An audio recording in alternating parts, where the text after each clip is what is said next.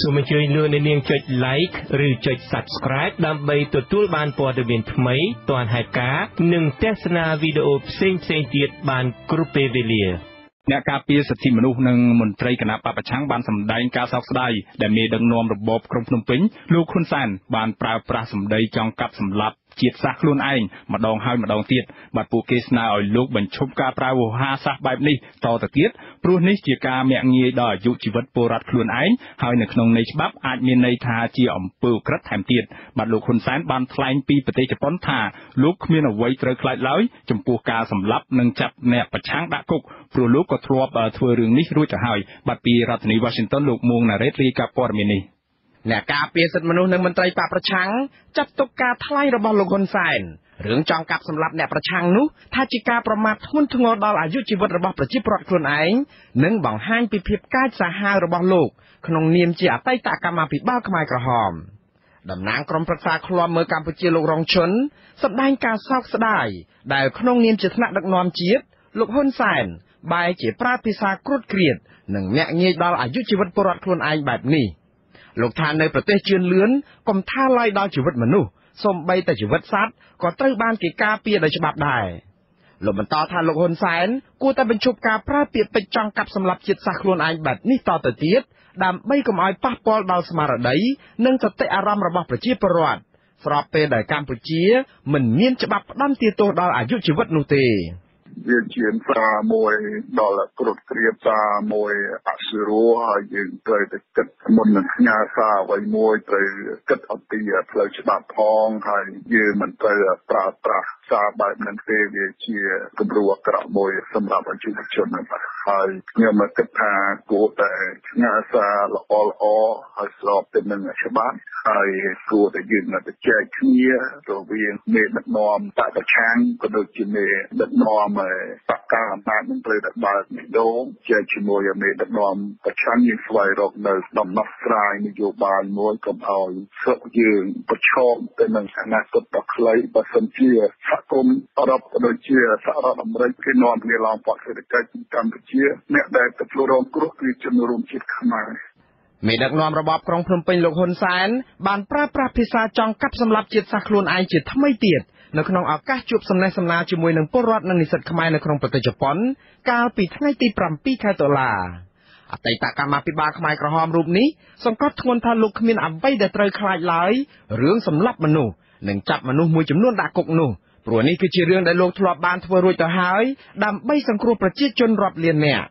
លោកបន្តថាការយកមនុស្ស4 5នាក់ដែលបង្កអក្រិតកម្មសង្គ្រាមទៅកាត់ទោសនោះគឺជារឿងដែលគ្មានប្រយោជន៍នោះឡើយដោយលោកសុកចិត្តសម្លាប់មនុស្សទាំងអស់នោះវិញល្អជាងទេដាក់ឲ្យប្រមាណអ្នកកវត្តចោលដើម្បីសងគ្រោះប្រជាជនរាប់លានអ្នករឿងអីទៅខ្លាចដើម្បីសងគ្រោះកុំឲ្យវាកើតសង្គ្រាមមានអីទៅខ្លាចខ្ញុំអត់មានអីខ្លាចទៅនិយាយ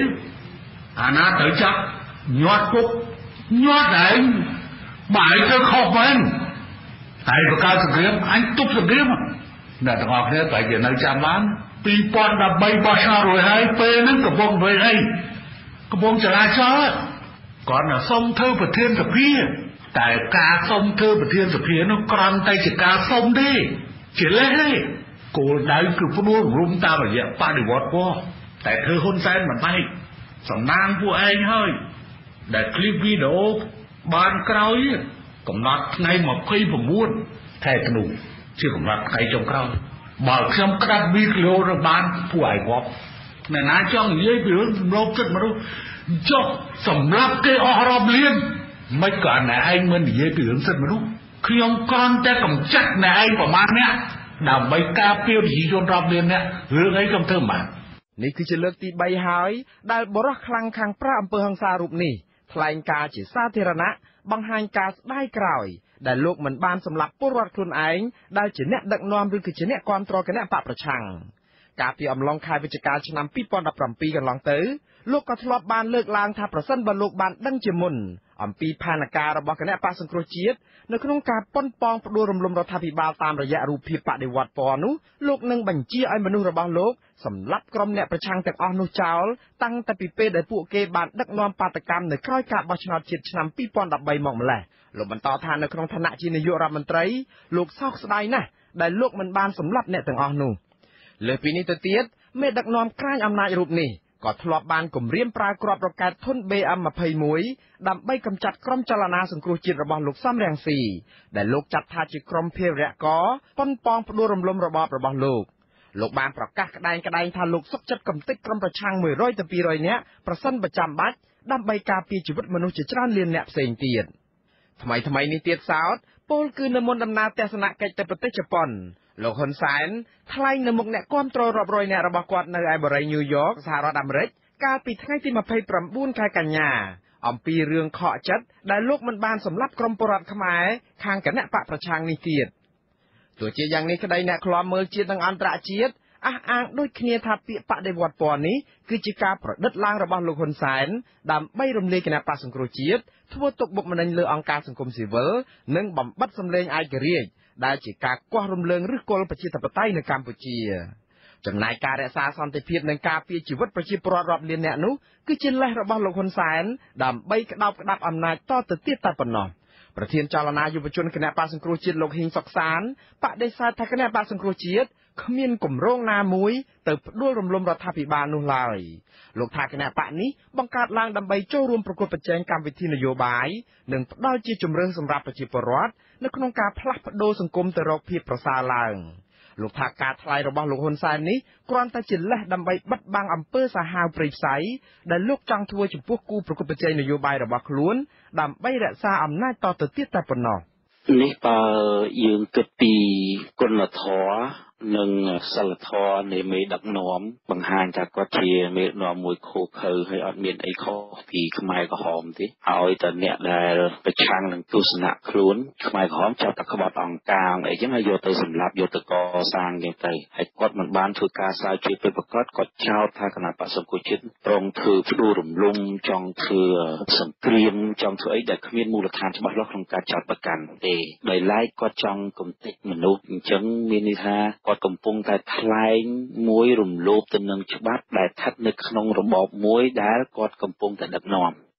លោកថាប្រសិនបើលោកហ៊ុនសែនហ៊ានសម្លាប់ប្រជាពលរដ្ឋខ្លួនឯងមែនលោកអាចប្រឈមមុខនឹងតុលាការព្រហ្មទណ្ឌអន្តរជាតិក្នុងបទចោទនៃអំពើអកតកម្មណាមួយដោយជៀសមិនរួចឡើយលោកស្នើឲ្យមានដឹកនាំរបបឯកបករូបនេះបញ្ឈប់ការប្រើវោហារស័ព្ទបែបនេះតទៅទៀតដើម្បីកុំឲ្យមានវប្បធម៌ហិង្សានិងសងសឹកគ្នានៅក្នុងចំណោមអ្នកនយោបាយខ្មែរ គាត់ពោលពាក្យថាគាត់ស្រឡាញ់សន្តិភាពប៉ុន្តែក្នុងចិត្តរបស់គាត់ក្នុងទ្រូងរបស់គាត់ពោពេញទៅដោយភ្លើងពោពេញទៅដោយភាពក្តៅក្រហាយហើយប្រមាថជីវិតមនុស្សសត្វទាំងអស់នេះគឺហាក់បីដូចជាអត់មានតម្លៃសោះគ្រាន់តែដើម្បីរក្សាអំណាចប្រមាថហ៊ានដល់ប្រមាថអ្នកដទៃអញ្ចឹងទៅទង្វើរបស់គាត់ទាំងអស់នេះវាបង្ហាញនូវភាពក្តៅក្រហាយហើយធ្វើឲ្យអ្នកប្រជែងរបស់គាត់មានភាពឈឺចាប់មានភាពក្តៅក្រហាយដែរហើយការសងសឹកនៅក្នុងសង្គមខ្មែរវាអត់ចេះចប់ទេឯណាទៅដែលយើងគិតថាចង់ឲ្យមានការផ្សះផ្សាជាតិកុំឲ្យមានវប្បធម៌ទឹកឡើងត្រីស៊ីសមុទ្រទឹកហើយសមុទ្រស៊ីត្រីនោះអញ្ចឹងគិតថាសូមឲ្យគាត់នឹងចាស់ចោលហើយប្រឹងធ្វើអ្វីដែលជាកុសលធ្វើល្អហើយឲ្យពលរដ្ឋនឹងឬក៏អ្នកចំនួនក្រោយនឹងរៀនសូត្រតាមជិះវៀងកុំឲ្យមានហិង្សាតទៅទៀតបាទអ្វីត្បិតតែលោកហ៊ុនសែនមិនបានសម្លាប់ក្រុមមេដឹកនាំបកប្រឆាំងនិងអ្នកធ្វើបាតកម្មប្រឆាំងលទ្ធផលបោះឆ្នោតឆ្នាំ2013ក៏ពិតមែន ក៏ប៉ុន្តែអាញាធរនៃរបបរបស់លោក បានបាញ់បង្ក្រាបយ៉ាងខុសខើទៅលើវងបាតកោដែលជាកម្មករកម្មការនីរោងចក្រកាត់ដេរនៅឯផ្លូវវែងស្រេង ដែលតវ៉ាទាមទារដំឡើងប្រាក់ខែហេតុការណ៍ហិង្សានៅគ្រានោះបានបណ្ដាលឲ្យកម្មករ4នាក់បាត់បង់ជីវិតម្នាក់បាត់ខ្លួននិងជិត40នាក់ផ្សេងទៀតរងរបួសបន្ថែមលើសពីនេះទៅទៀតថ្នាក់ដឹកនាំសហជីពនិងកម្មករជាង20នាក់ ក៏ត្រូវបានចាប់ខ្លួនដាក់ពន្ធនាគារអស់រយៈពេល75ខែដោយរងការចោទពីបទញុះញង់ឲ្យមានការប្រើអំពើហិង្សា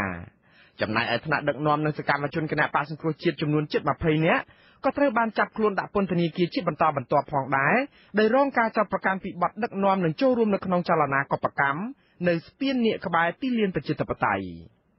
ថ្នាក់ដឹកនាំនិងសកម្មជនគណៈបកប្រឆាំងទាំងនោះ ទើបតែត្រូវបានដោះលែងឲ្យមានសេរីភាពវិញ នៅក្រៅពេលដែលរបបលោកហ៊ុនសែនបានបង្កើតរបបថ្មីឯកបកដោយជោគជ័យចេញពីការបោះឆ្នោតបែបបង្ក្រប់កិច្ចកាលពីថ្ងៃទី29ខែកក្កដាកន្លងទៅនេះប៉ុណ្ណោះ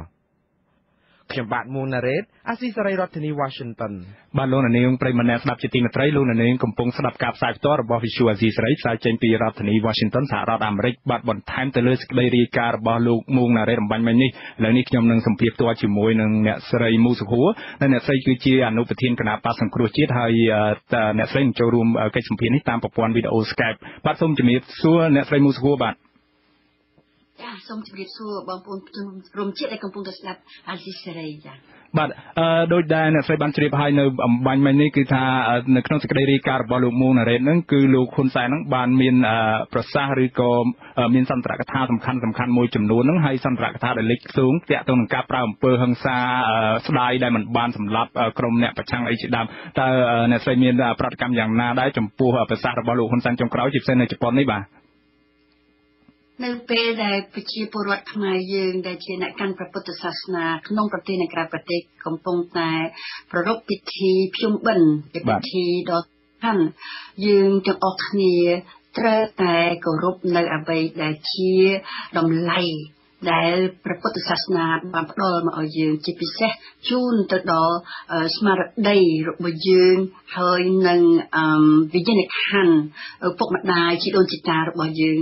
ដែលលោកបានបង្ហាត់បង្រៀនឲ្យយើងថាយើងជាពូជបាទខ្មែរអង្គរជាពូជដែលកាន់ព្រះពុទ្ធសាសនាហើយនឹងសន្តិភាពអហិង្សាដូច្នេះតែពាក្យសម្ដីជាពិសេសជាអ្នកដឹកនាំនៅពេលដែលប្រើពាក្យសម្ដីរបៀបនេះយើងមានការសោកស្ដាយណាស់ហើយខ្ញុំយកឱកាសនេះក្នុងនាមជាស្ត្រីខ្មែរមួយរូបរំលឹកថា នៅពេលណាដែលនិយាយអំពីហិង្សាការដាក់ ចាក់ចងដាក់គុកដាក់ច្រឡាក់គឺមានន័យថាការបំបែកនៃគ្រួសារការបាក់បែកគ្រួសារអ្នកណាអ្នកជាចាក់អ្នកណាដែលរងគ្រោះគឺកូនចៅយើង ពីចំនួនមួយទៅចំនួនមួយដូច្នេះខ្ញុំសូមអង្គបកយើងឈប់និយាយអំពីការសម្លាប់ពលរដ្ឋយើងទៀតទៅអ្វីដែលជាប្រឈមនៅចំពោះមុខយើងនៅពេលនេះគឺសេដ្ឋកិច្ចប្រទេសជាតិយើងនោះ កំពុងតែចូលនៅក្នុងការលំបាកធំណាស់គឺការសារដែល EU បានផ្ដល់មកឲ្យយើងតាំងពីថ្ងៃសុក្រមុននេះបាទដោះយ៉ាងម៉េច បាទអរគុណលោកជំទាវប៉ុន្តែអ្វីដែលយើងចង់ផ្ដោតសំខាន់ហ្នឹងគឺឃើញថាលោកហ៊ុនសែនហ្នឹងមិនមែនជាលើកទី1ទេគឺអស់រយៈពេលជាច្រើនដងច្រើនលើកច្រើនសារឲ្យលោកតែងតែនិយាយប្រើសារបង្កប់ដោយពាក្យហឹង្សាពាក្យពេចហឹង្សាហ្នឹងក្រោមលេសសន្តិភាពនិងបដិវត្តពណ៌តើក្នុងន័យនេះមានតែលោកហ៊ុនសែនម្នាក់គត់ទេដែលអាចរក្សាសន្តិភាពបាននៅប្រទេសកម្ពុជាខណៈដែលក្រុមអ្នកប្រឆាំងឬក៏ក្រុមអ្នកដែលមានគំនិតឬទស្សនៈផ្ទុយពីលោកគឺជាអ្នកដែលប្រព្រឹត្តតាមអ្វីដែលលោកចោទហ្នឹងគឺជាអ្នកដែលប្រព្រឹត្តអំពើហិង្សាហើយគឺជាសត្រូវរបស់លោកវិញតែទៅវិញនោះបាទខ្ញុំសូមជម្រាបទៅលោកហ៊ុនសែនថា សូមឲ្យលោកមានអារម្មណ៍ឲ្យស្ងប់ក្នុងខ្លួន ក្នុងអារម្មណ៍របស់លោកអត់មានសត្រូវរបស់លោកនៅឯណាទេក៏ប៉ុន្តែយើងជាពលរដ្ឋខ្មែរចាបាទ យើងចង់បានសន្តិភាពពិតប្រាកដហើយសន្តិភាពនោះធ្វើបានលុះត្រាតែ មានការជជែកគ្នាមានការតវ៉ាដោយសន្តិវិធី ចាហើយការតវ៉ាដោយសន្តិវិធីនេះគេធ្វើតាមការបញ្ចេញមតិក្តីការធ្វើបាតុកម្មក្តីលក្ខនឹងលក្ខគឺជាការដែលបានអ្វីដែលសិទ្ធិដែលមានចែងនៅក្នុងរដ្ឋធម្មនុញ្ញក៏ហើយហើយគណៈកសង្គ្រោះជាតិដូចជាប្រជាពលរដ្ឋខ្មែរដែរ អត់មានអាវុធអីនៅក្នុងដៃគាត់ទេសោះហើយដាក់លើតុនិយាយគ្នាឲ្យច្បាស់គឺយើងនិយាយអំពីការបោះឆ្នោតដោយសេរីត្រឹមត្រូវនិងយុត្តិធម៌បើមិនអញ្ចឹងទេបោះឆ្នោតម្ដងម្ដងឃើញយើងមានវិបត្តិអីលើវិបត្តិមានហើយទៀតហើយគឺការបោះឆ្នោតខ្លាំងខ្លាយហើយយើងនៅតបាទៀតហើយយើងមានទៅបង្កើតអំពីសង្គ្រាមអីណាស់ហើយលោកខ្ញុំជឿជាក់លោកហ៊ុនសែនគាត់ជ្រាបច្បាស់ណាស់បាទចា បាទលោកជំទាវលោកហ៊ុនសែនហ្នឹងបញ្ចេញសារនេះលើកនេះហាក់ដូចជាធ្ងន់ជាងលើកណាណាទាំងអង្គគឺដោយសារតែនៅពេលនេះលោកកំពុងមានវត្តមាននៅលើទឹកដីប្រទេសប្រជាធិបតេយ្យប្រទេសសេរីហើយលោកបាននិយាយអំពីការកាប់សម្លាប់ប្រជាពលរដ្ឋខ្មែរខ្លួនឯងដែលជាក្រុមអ្នកប្រឆាំងដោយលើកឧទាហរណ៍ទៅលើកាលពីសម័យលន់នល់ដែលបានធ្វើរដ្ឋប្រហារអីជាដើមហ្នឹងថាបានធ្វើបណ្ដាលឲ្យមនុស្សស្លាប់2ទៅ3លាននាក់អីជាគំរូហ្នឹងគឺมันមានបញ្ហាអីផងដោយមានមនុស្សតែប្រមាណអ្នកតែប៉ុណ្ណោះត្រូវបានគេយកមកកាត់ទោសខណៈដែលលោករឿងអីដែលលោកត្រូវខ្លាចទៅនឹងការកាប់សម្លាប់ក្រុមអ្នកប្រឆាំងនៅពេលនេះឬក៏ចាប់ដាក់គុកអីជាដើមនេះខណៈនេះដែរលោកហ៊ុនសែនកាលពីពេលលើកមុនក៏ធ្លាប់បានម្ដងហើយម្ដងទៀតព្យាយាមដូចថាក្នុងន័យមួយដែលព្យាយាមបង្អាក់ឬរៀបរៀងដំណើរការកាត់ទោសក្រុមមេដឹកនាំខ្មែរក្រហមអីជាដើមតើនេះគឺជាអ្វីដែលផ្ទុយគ្នារវាងអ្វីដែលលោកថ្លែងនៅឯទឹកដីសេរីភាពនៃប្រទេសប្រជាធិបតេយ្យជាមួយនឹងអ្វីដែលលោកបានទង្វើដែលលោកបានប្រព្រឹត្តនាពេលកន្លងមកទេបាទខ្ញុំសោកស្ដាយយើងជាខ្មែរសោកស្ដាយណាស់ដែលអ្នកដឹកនាំរបស់យើងបង្ហាញនៅអ្វីដែលជាអឺលក្ខណៈ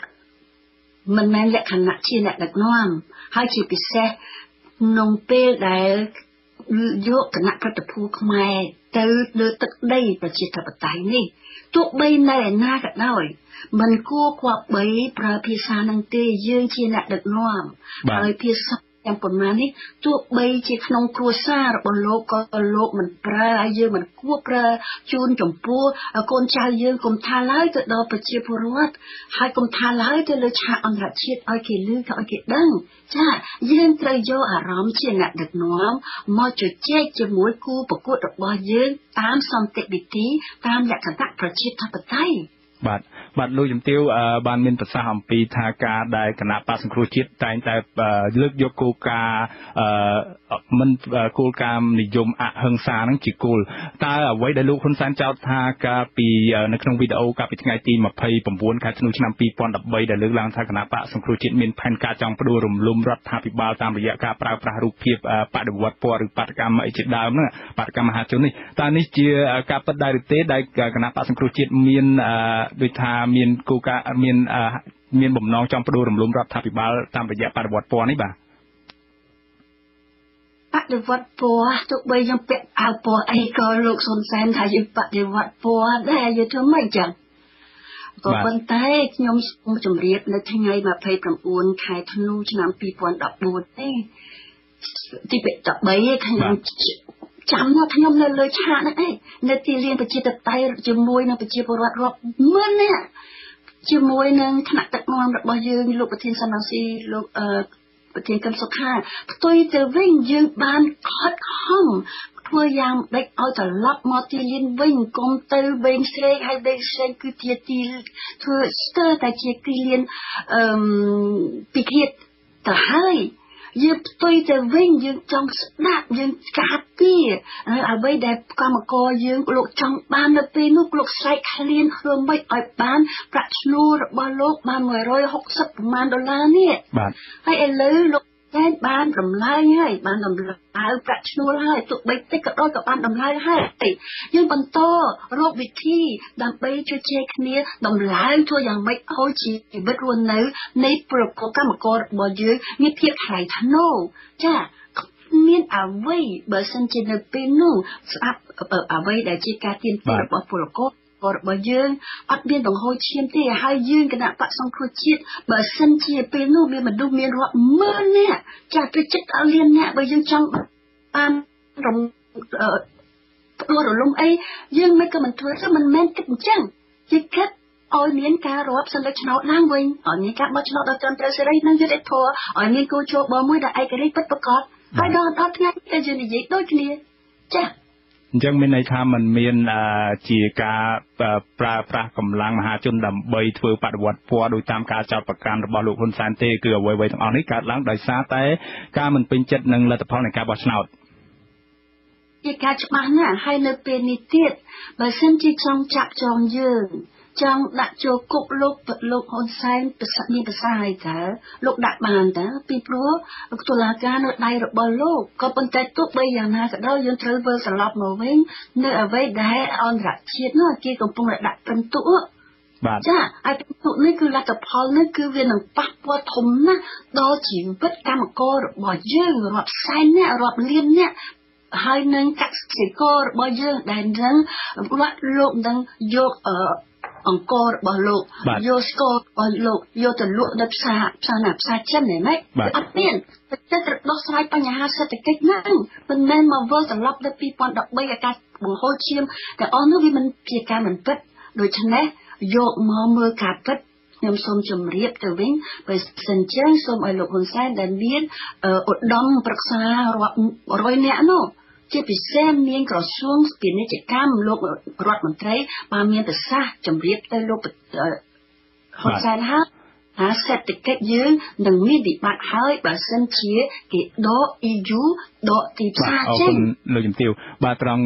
កន្លែងវិបត្តិសេដ្ឋកិច្ចនេះខ្ញុំនឹងលើកជាសំណួរទៅកាន់លោកជំទាវនៅពេលបន្តិចទៀតនេះអ្វីដែលខ្ញុំចង់បដោតមួយទៀតហ្នឹងគឺបញ្ហាផលវិបាកនៃការចោតប្រកាន់មិនចេះចប់មិនចេះហើយរបស់ក្រុមមេដឹកនាំខ្មែរហ្នឹងលីបពណ៌ក្រុមម្ខាងទៀតថាជាអ្នកបង្កើតបដិវត្តពណ៌ឬក៏ជាអ្នកចង់ព្រួររំលំរដ្ឋាភិបាលអីជាដើមហ្នឹងតើនេះនឹងបង្កឲ្យមានផលវិបាកយ៉ាងណាខ្លះដល់សង្គមខ្មែរជាពិសេសស្របពេលនេះដែលពលរដ្ឋខ្មែរគួរតែដោយលោកជំទាវមានប្រសាសន៍ហើយគួរតែលើកថ្លែងសារអំពីឯកភាពជាតិក្នុងរដូវភ្ជុំបិណ្ឌតែផ្ទុយទៅវិញគឺលោកហ៊ុនសែននិយាយពីសារដែលបង្ហាញពីការសងសឹកគំនុំគុំគួននិងប្រកបដោយបង្កប់ភាពហិង្សានេះតើនឹងមានផលវិបាកឬក៏វិបត្តិយ៉ាងណាខ្លះដល់សង្គមកម្ពុជានៅថ្ងៃអនាគតនោះបាទផលវិបាកមានតែហើយមិនមែននឹងមានទេមានតែហើយយើងមើល តើកូនចៅយើងនៅគ្រប់ទីកន្លែងទាំងអស់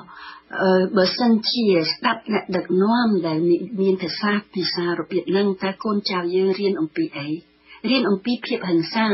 ពេលណាយើងនិយាយរៀនអំពីភាពហិង្សាភាសាហិង្សា នៅក្នុងគ្រួសារគឺនឹងមានហិង្សាក្នុងគ្រួសារនៅក្នុងសង្គមនឹងមានហិង្សាក្នុងសង្គមយើង ចំពោះយើងជាស្ត្រីអ្នកដែលរងគ្រោះមុនគេបើសិនជាមានអំពើហិង្សានៅក្នុងគ្រួសារនៅក្នុងសង្គមនៅក្នុងសហគមន៍គឺស្ត្រីនិងកុមារហើយការរងគ្រោះនេះនឹងមានអឺរហូតនៅភ្ជាប់នៅក្នុងអារម្មណ៍ភ្ជាប់នៅក្នុងមិនមែនតែរាងកាយទេ គឺផ្សះផ្សាក្នុងខ្លួននឹងមួយជីវិតបាទមិនអស់ទេ ហើយគេត្រូវតែជៀសបំផុតនៅភាសាហិង្សាហើយត្រូវតែបង្ហាញជាពិសេសជាអ្នកដឹកនាំត្រូវមានការទទួលខុសត្រូវចាមួយ ទៀតវាអាចคล้ายទៅជាវិបត្តិមួយដ៏ធំអំពើហិង្សាយើងនៅក្នុងសង្គមពីគ្រប់ទៅហើយអំពើហិង្សាតាំងពីរូបភាពលក់ស្រាបិយានៅគ្រប់ទីកន្លែងទាំងអស់ហើយអំពើអយុត្តិធម៌រឿងដីធ្លីប្រជាពលរដ្ឋយំស្រែករាល់ថ្ងៃនេះយើងត្រូវដោះក្នុងនាមយើងជាជាអ្នកដឹកនាំក្តីជាពលរដ្ឋក្តីដើម្បីបង្ បំបត្តិនៅអ្វីដែលជា ប្រភពនៃហិង្សា បាទអរគុណលោកជំទាវច្រើនជំវិញការបកស្រាយបញ្ហានេះបាទសំណួរខ្ញុំងាកមក បញ្ហានៃការបដិសេធប្រព័ន្ធអនុគ្រោះពន្ធ EU វិញម្ដងឬហៅថា EBA នេះបាទអ្វីៗទាំងអស់លើកលែងតែអាវុធតែលោកជំទាវមានប្រតិកម្មយ៉ាងណាដែរទៅលើប្រសាសន៍របស់លោកហ៊ុនសែនដែលថាលោកមិនខ្ចីអោនក្បាលទៅនឹងបរទេសដើម្បីជាថ្នូវនឹងការទទួលយកជំនួយរបស់បរទេសតាមរូបភាពផ្សេងៗជាពិសេសឬក៏ការផ្ដល់ប្រព័ន្ធអនុគ្រោះពន្ធ EBA នេះជាដើមដែលលោកថាការអោនក្បាលទៅកាន់បរទេសមួយលើកស្មើនឹងការដឹងគុណទៅបរទេសជាថ្នូវវិញនៅរៀងរាល់ពេលទៅថ្ងៃអនាគតនោះបាទតើនេះជាចម្លើយត្រឹមត្រូវទេ ហើយអាចថាលោកហ៊ុនសែនរដ្ឋាភិបាលរបបក្រុងភ្នំពេញនឹងអាចរស់បានទេដោយគ្មានប្រព័ន្ធអនុគ្រោះពន្ធរបស់អឺរ៉ុបនេះបាទខ្ញុំជឿជាក់ថាលោកហ៊ុនសែនលោកជ្រាបទាំងអស់នៅទូរលេខទាំងឡាយតែតែខ្ញុំសូមលើកមកវិញជូនទៅដល់កម្មករកម្មការិនីយើងទាំងអស់គ្នា ដែលកំពុងតែរស់ដោយសារការ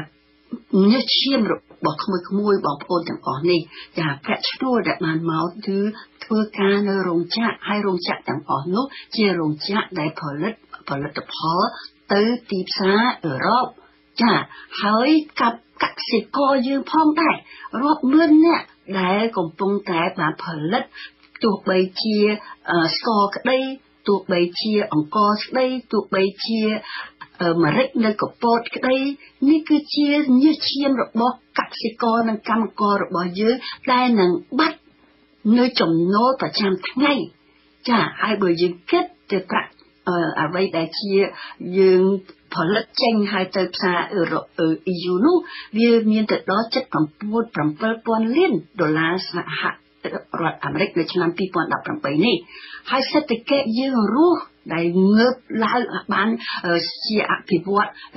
វិជ្ជមាន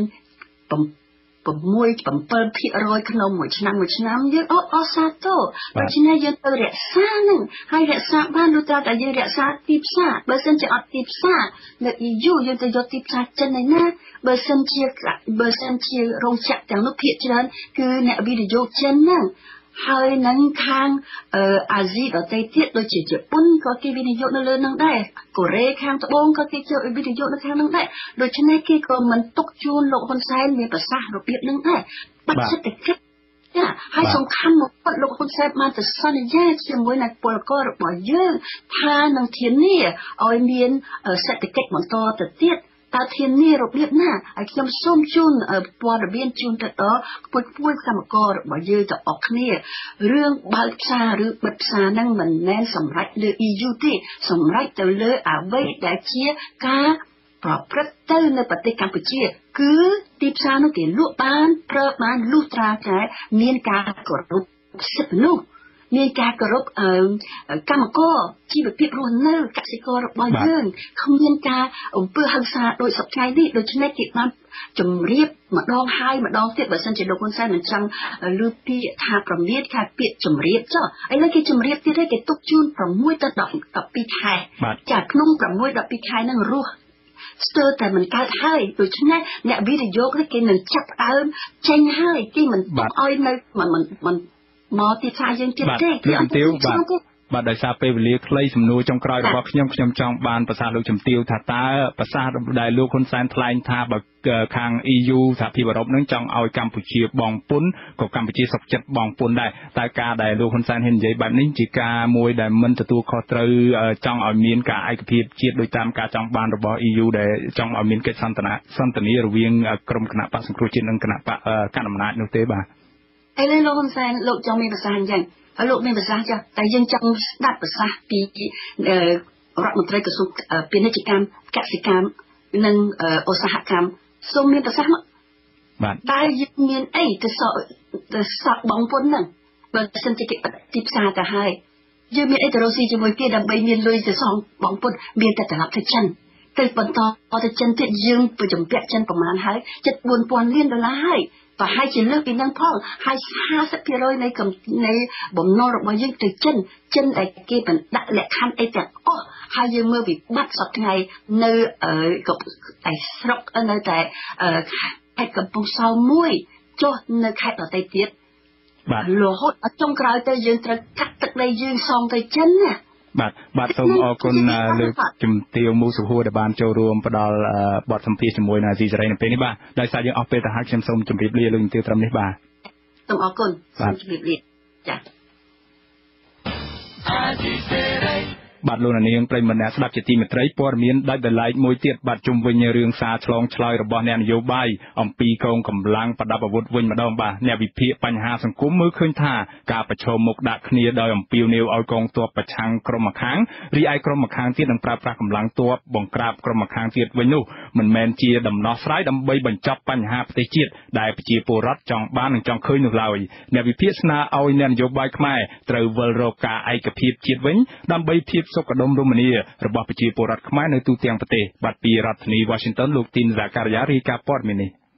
ក្រោយពីមានសារនយោបាយតបតដាក់គ្នាទៅវិញទៅមករវាងលោកហ៊ុនសែននិងលោកសំរងស៊ី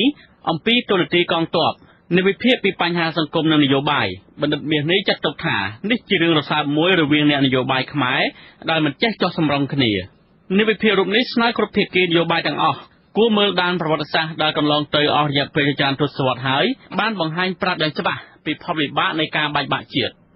លោកបណ្ឌិតមាសនេះមើលឃើញថាលោកហ៊ុនសែនហាក់ព្រួយបារម្ភពីសាររបស់អតីតមេដឹកនាំគណៈបកប្រឆាំងលោកសំរងស៊ីដែលអំពាវនាវឲ្យកងទ័ពប្រឆាំងរដ្ឋាភិបាលច្រើនជាងជឿជាក់លើកងកម្លាំងប្រដាប់អាវុធដែលលោកហ៊ុនសែនកំពុងគ្រប់គ្រងនោះ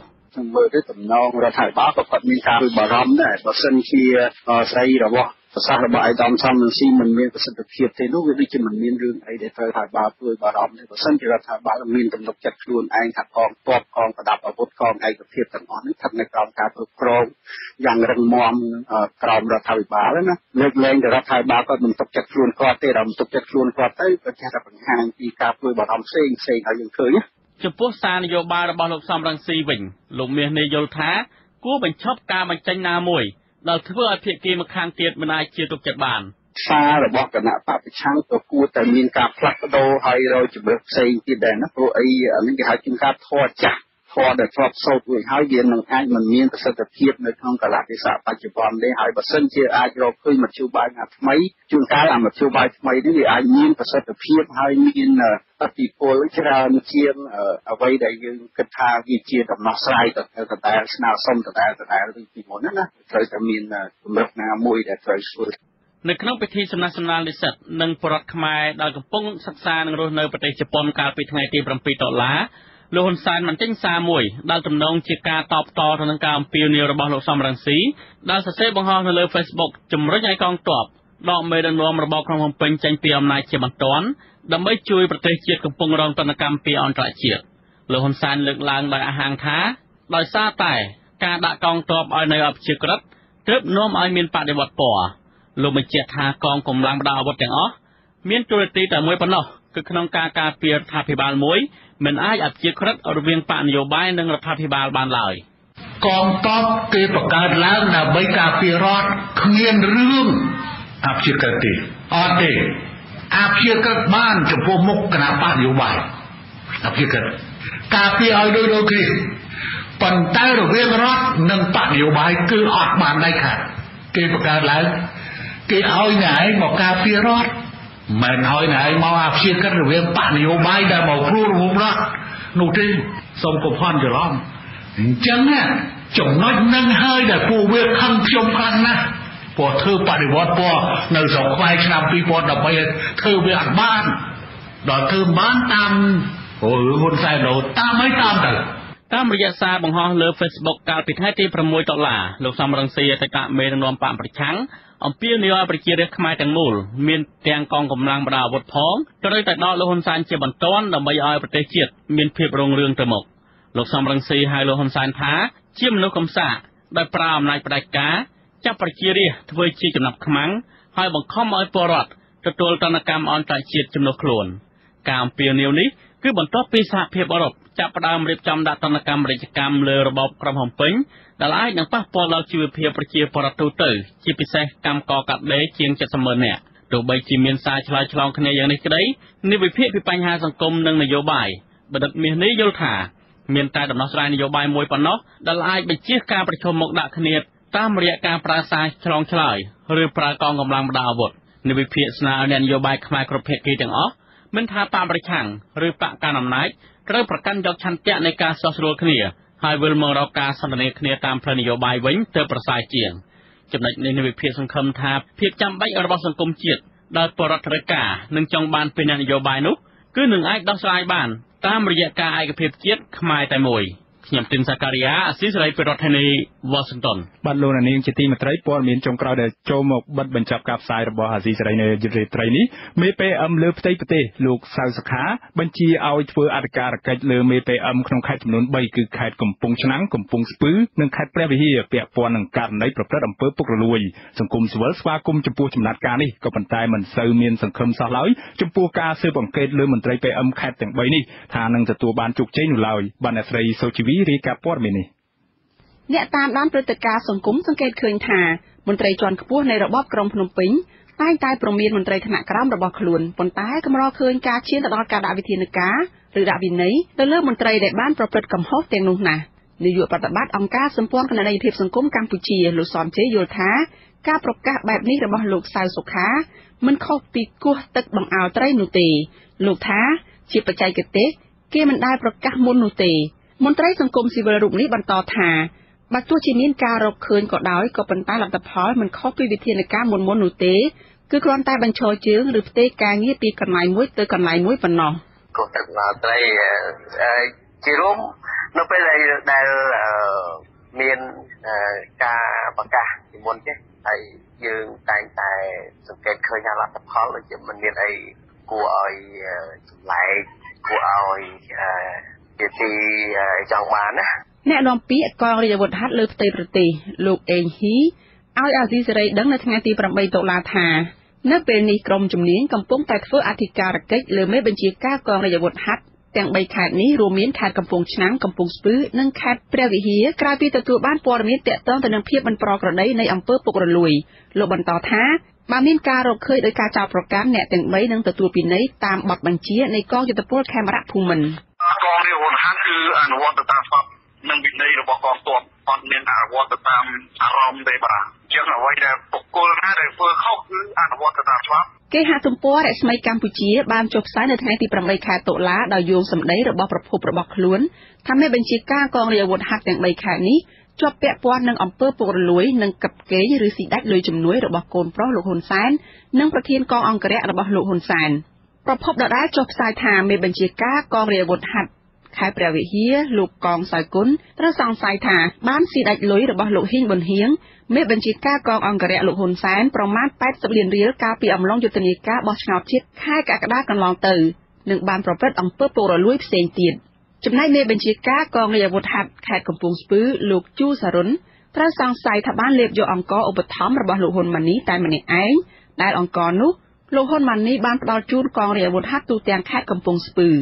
រីឯមេបញ្ជាការកងរាជអាវុធហត្ថខេត្តកំពង់ឆ្នាំងលោកសាក់សារ៉ាងត្រូវសង្ស័យថាពាក់ព័ន្ធនឹងការប្រព្រឹត្តអំពើពុករលួយ និងយកលុយពីឈ្មោះរកស៊ីឈើអាស៊ីសេរីមិនទាន់អាចមានមធ្យោបាយសុំការបំភ្លឺពីមេបញ្ជាការកងរាជអាវុធហត្ថខេត្តកំពង់ស្ពឺ លោកជូសរុនមេបញ្ជាការកងរាជអាវុធហត្ថខេត្តព្រះវិហារលោកកងសៅគុណនិងមេបញ្ជាការរងកងរាជអាវុធហត្ថខេត្តកំពង់ឆ្នាំងលោកសាក់សារ៉ាងបាននៅឡើយទេជុំវិញការចោទប្រកាន់នេះសមាជិកអ្នកវិភាគវ័យក្មេងលោកបងដាតយល់ថា ចំណាត់ការរបស់លោកសៅសុខានៅពេលនេះគឺគ្មានប្រសិទ្ធភាពអ្វីបន្តិចឡើយហើយនេះគ្រាន់តែជានយោបាយប្រជាពិធប៉ុណ្ណោះលោកបន្តទៀតថាលោកយល់ឃើញបែបនេះព្រោះលោកសង្កេតឃើញថាលោកសៅសុខា ទទួលបានបញ្ជាពីលោកហ៊ុនសែនក្នុងការបង្ក្រាបបទល្មើសព្រៃឈើប៉ុន្តែឈើនៅតែរងការកាប់បំផ្លាញដដែលពីព្រោះថាអ្នកដែលអនុវត្តកម្មវិធីហ្នឹងគឺមន្ត្រីបកប្រជាជនទៅលើកូនចៅខ្លួនឯងសុទ្ធតែគាត់អាចអាសាច់ខ្លួនឯងឬក៏នេះបានអត់ទេគឺវាគ្រាន់តែជាឲ្យមានប្រជាប្រិយភាពនយោបាយជាជាការធ្វើប្រជាពិធដ្ឋចឹងណាពួកឲ្យប្រជាពលរដ្ឋឃើញហើយធ្វើឲ្យពលមានដឹងធ្វើឲ្យប្រជាពលរដ្ឋចាប់អារម្មណ៍លើការធ្វើការបោះបោះ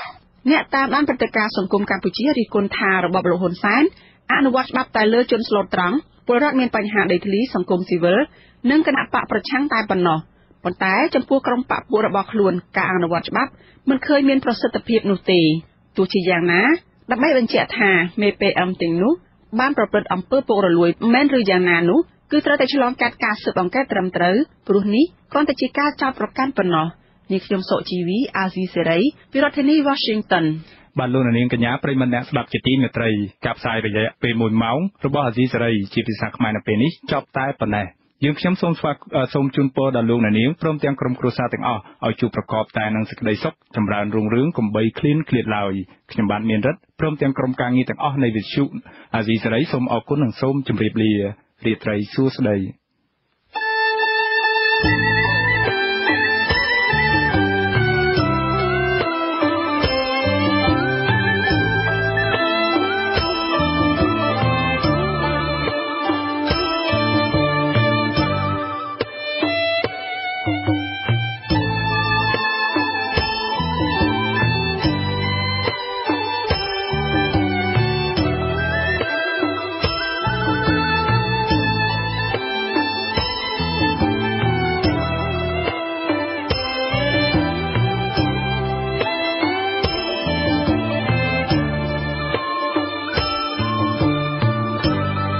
យកអង្គការឃ្លាំមើលសិទ្ធិមនុស្ស Human Rights Watch លោក Brad Adams ប្រាប់អាស៊ីសេរីថាលោកព្យាករឃើញថាលោកហ៊ុនសែននិងក្រុមគ្រួសារនិងមន្ត្រីនៃរបបរបស់លោកដែលប្រព្រឹត្តអំពើពុករលួយរំលោភសិទ្ធិមនុស្សនិងរំលោភប្រជាធិបតេយ្យនៅកម្ពុជាថ្ងៃណាមួយនឹងជៀសមិនផុតពីទទួលទណ្ឌកម្មអំពីអំពើបាបរបស់ខ្លួននោះឡើយ I expect Hun Sen will spend his final days of his life in prison ខ្ញុំរំពឹងថាលោកហ៊ុនសែននឹងចំណាយពេលចុងក្រោយនៃជីវិតរបស់លោកនៅក្នុងពន្ធនាគារ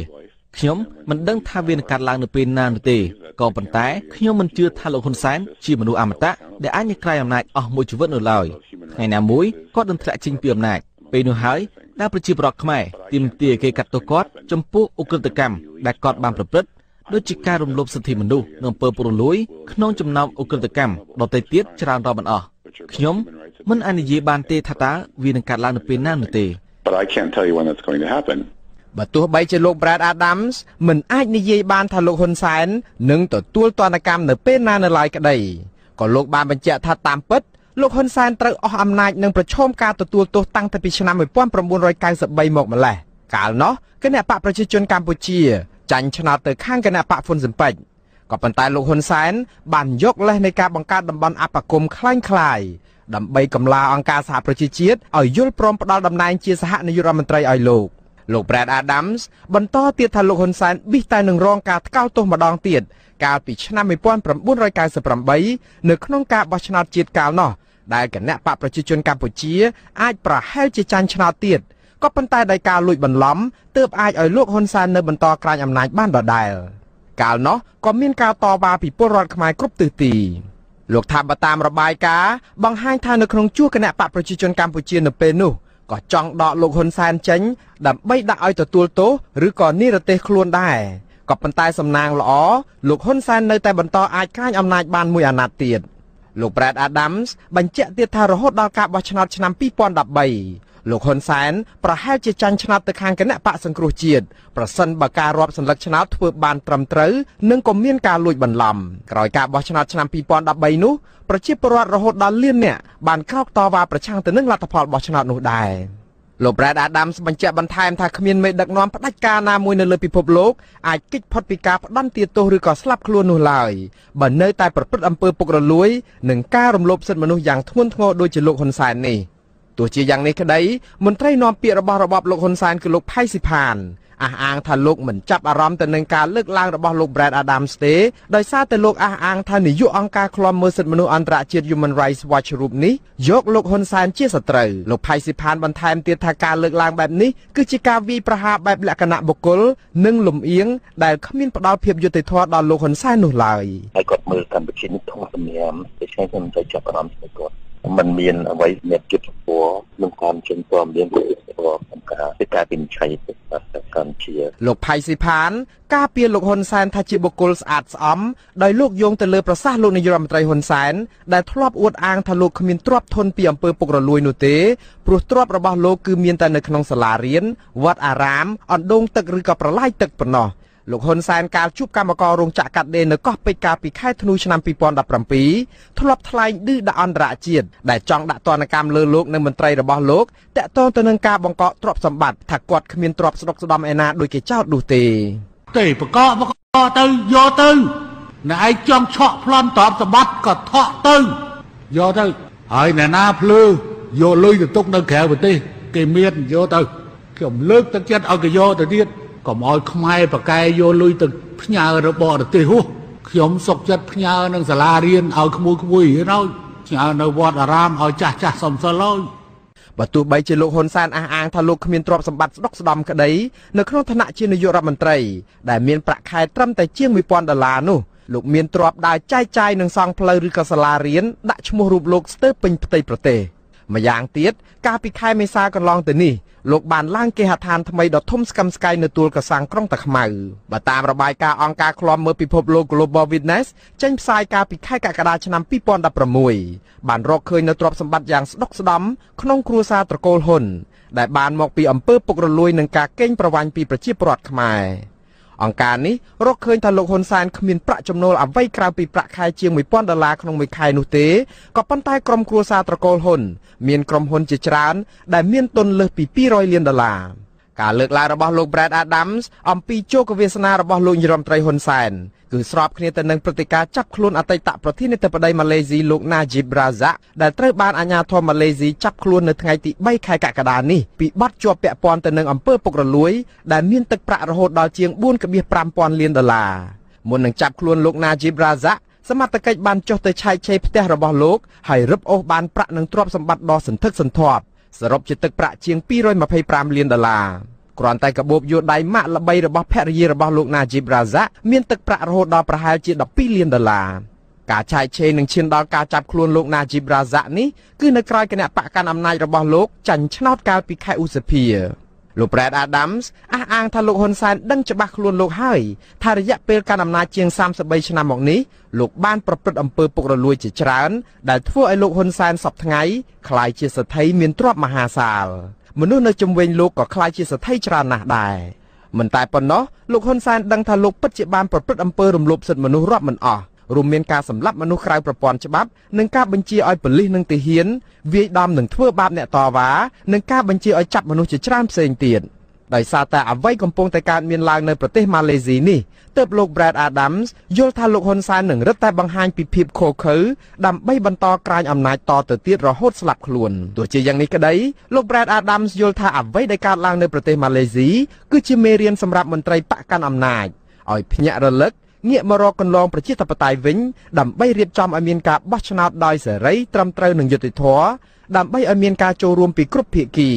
បើសិនជាមន្ត្រីបកកណ្ដាលអំណាចមិនចង់ជួបរឿងអកុសលបែបនេះនោះទេក៏ប៉ុន្តែលោក Brad Adams ថាការបោះឆ្នោតនៅថ្ងៃទី29ខែកក្កដាខាងមុខនេះគឺជាឆាកល្ខោននយោបាយដើម្បីបន្លំភ្នែកតែប៉ុណ្ណោះមិនមែនជាការបោះឆ្នោតដែលសេរីត្រឹមត្រូវនឹងយុត្តិធម៌ដែលទទួលយកបានពីប្រជាពលរដ្ឋខ្មែរនិងសហគមន៍អន្តរជាតិនោះឡើយខ្ញុំបាទមួងណារ៉េតអាស៊ីសេរីពីរដ្ឋធានី Washington